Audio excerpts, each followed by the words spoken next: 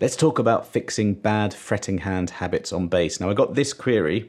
I'm slightly concerned about my wrist angle in relation to the neck, the position of my thumb on the neck, and I'm trying to cut out flying fingers, any good exercises or tips. Well, let's get into it. I think first, when you're talking about fretting hands, you've got to talk about how you hold the bass.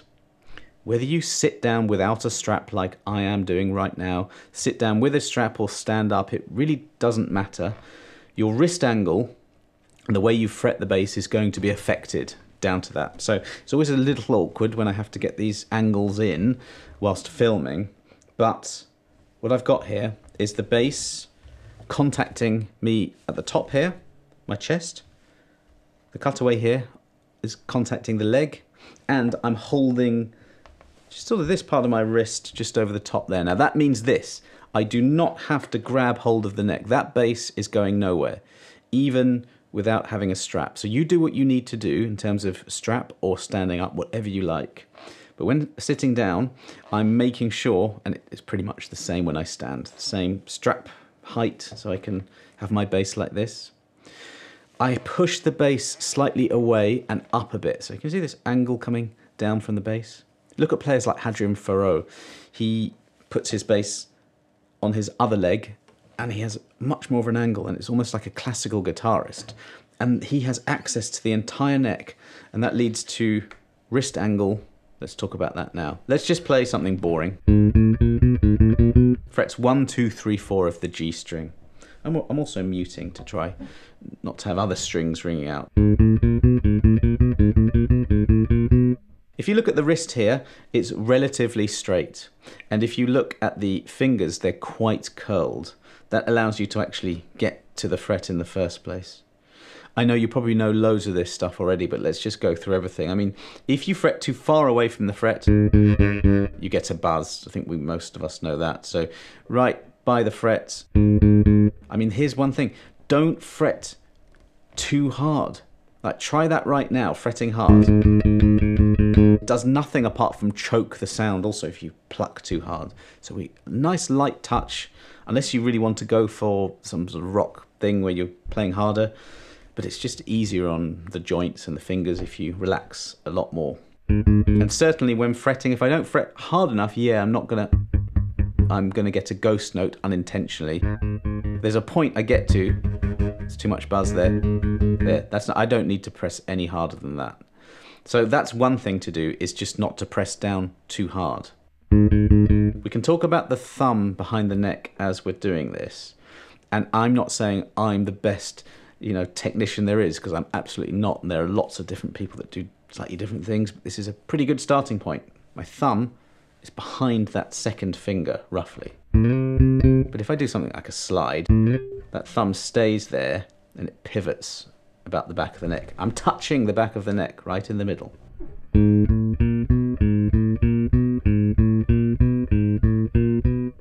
Now this is one finger per fret, which I'll talk about very quickly. So that's where we have the first finger on the first fret and then two lines up on fret two and then three and then four.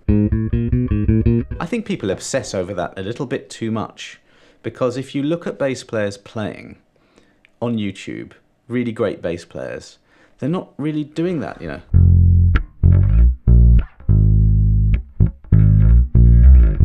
Stuff like that. If you need to do a slide, they're leading with the first finger. Players like Leland Sklar, he's got finger damage from accidents over the decades that he's been playing. He, he adapts the way that he can do it, and he, he has a technique which is a bit more slidey but you know using slides and hammer-ons and he's got this lovely technique based on the way he can do it. There's no real thing as perfect technique. Let's do that. So I've got a bunch of exercises like this in a free book and I'll put the link below to that. Here's one of the exercises. I'm just going one two three four. You probably know this one and then go down to the D here's where it gets a bit more difficult when you have to fret on the E string down here. Now the wrist angle isn't exactly great there, but there is a little bit more of a wrist angle that has to happen as you come round. Now that thumb is at the back of the neck I don't know if you can see that, roughly there. And I'm just sort of, I am moving it a bit as I'm coming. Okay, there's a bit of that sort of needing to happen. But again, really trying not to press down too hard. Keeping those fingers pretty curled. Doesn't matter what you play, you can play a scale or anything.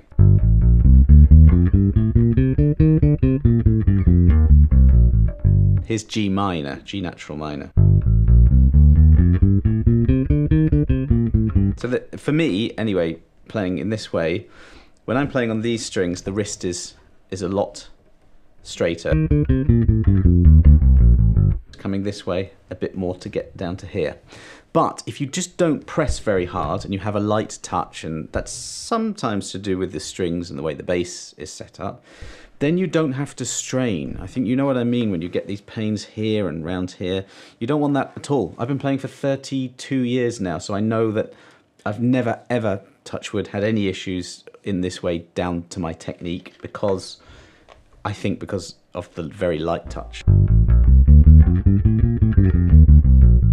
Now, flying fingers is where you want your fingers to be close to the fretboard, but they just fly up over there. So, what are some tips to to combat that? Let's go to the fifth fret of the G string. We'll do this really slowly back to the boring one, two, three, four. Now, don't feel that every single finger needs to be perfect. You've got to get the ruler out to get it right there. You can shift across a bit. And if you find it difficult, the higher you go, the narrower the frets get. So I'm now at the ninth fret. So I'm just playing and I'm keeping the fingers down.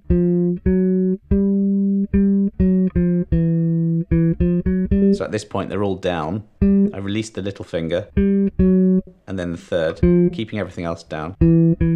Now what I'm trying to do here is to lift up the fingers not very much off the fretboard. And if you think about it, that's going to give you much more economy of motion. My little finger just naturally tends to fly up more than the others. It always has done. It's never been a problem for me. I'm not too concerned about it. Just keep going down.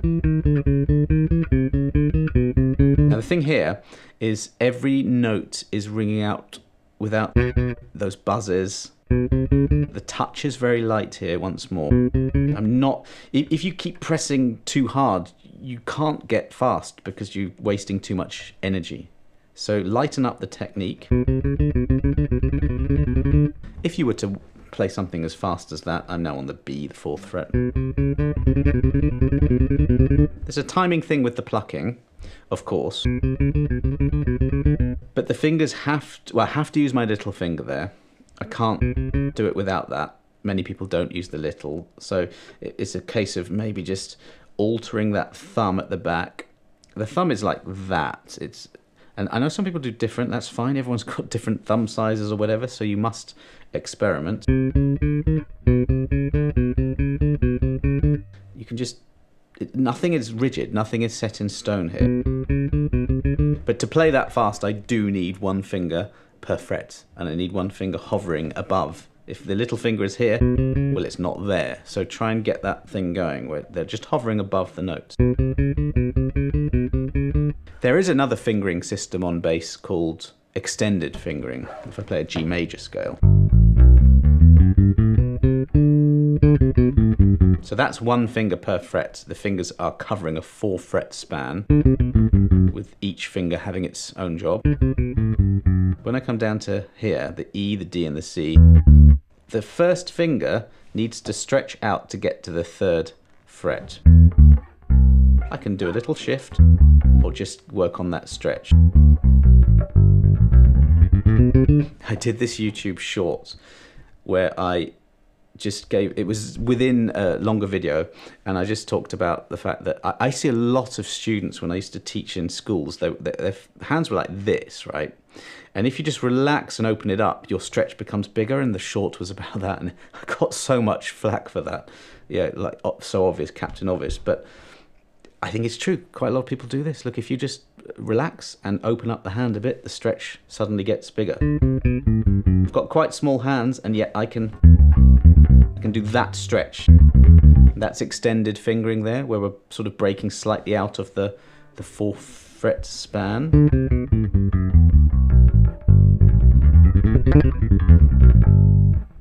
How many times do bass players play like that in actual music? Not really very much. I mean, certain styles you might, some jazz fusion runs, I can think of some, you know, progressive rock, yes, maybe. But for the most of us, we're doing like.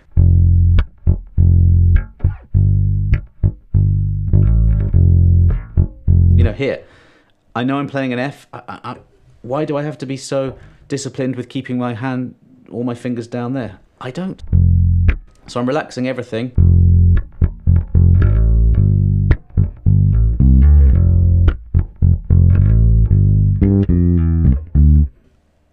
I might need all the fingers. So I think in reality, what people are doing, bass players are doing, is like a combination of these techniques. And the more you play, you're not even thinking about it. You know, sometimes if you need notes that are next to each other like that, it will make sense to do that. Other times, it might just do what you want, really. Sometimes I see people with a thumb over the top. It's it's all fine, you know. You might be resting a bit to to just relax a bit. But I think relaxation is the key to all of this. Don't press too hard. Don't pluck too hard unless that's the effect you want. You know, we want to play safely here and not ever have any injuries, that comes from relaxation. So that's quite a lot of tips. I mean, in terms of exercises, you've got those free ones in that free book, the link below. You've got these style of exercises that aren't very musical, but they're good for the mechanics. See here, I'm just altering things a bit, pivoting on that thumb. That thumb is just touching the back and I'm sliding. You've got loads of exercises like that. You can change the fingers around. It's really good for dexterity, that one. And you can do scales.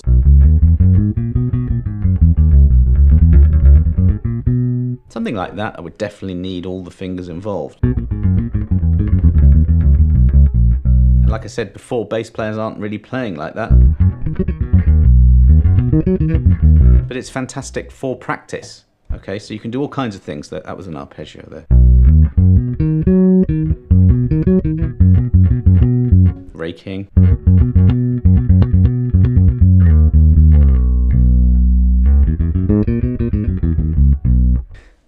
I honestly think the best tip I can give you is just not to get too bogged down in those systems, one finger per fret or extended.